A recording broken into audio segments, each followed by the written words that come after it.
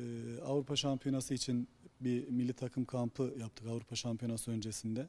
Sporcularımızla birkaç gün önce başladığımız kamp e, Cuma günü e, bitecek. Cuma günü e, İtalya'ya Avrupa Şampiyonası için yola çıkacağız. E, Avrupa Şampiyonası'na gidecek 5 sporcumuz var.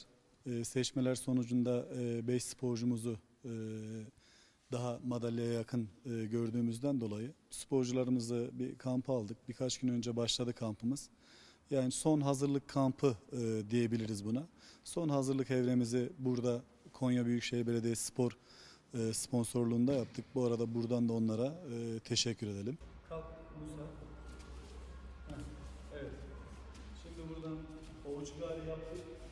Buna Özel Sporcular Spor Federasyonu olarak 8 branşta 60'a yakın e, sporcuyla yani çok geniş bir kafileyle çıkartma yapacağız İtalya'ya. İnşallah gittiğimiz her branşta da İstiklal Marşımızı okutup bayrağımızı göndere çekip e, dönmek hedefimiz amacımız. Haydi bakalım siz ikiniz de işte.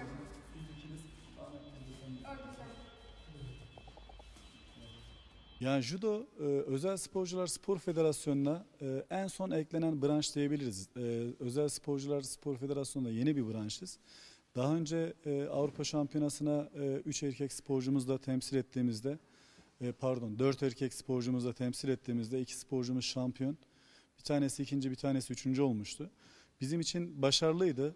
O günden sonra biz e, tabii ki hedeflerimizi orada aldığımız madalyalardan sonra hedeflerimizi biz büyük tuttuk.